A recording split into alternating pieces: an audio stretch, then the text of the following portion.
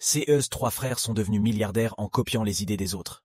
Dans les années 90, ils étaient complètement fascinés par l'explosion d'eBay et les ont contactés pour leur proposer d'ouvrir et de gérer leur division européenne.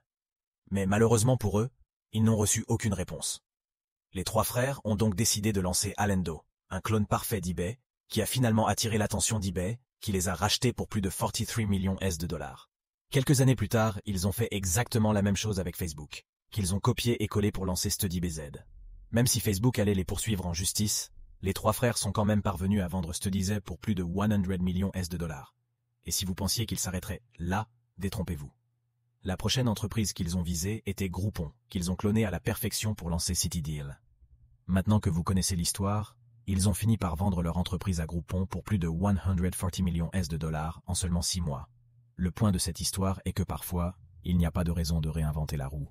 Il suffit de s'inspirer de ce qui existe déjà.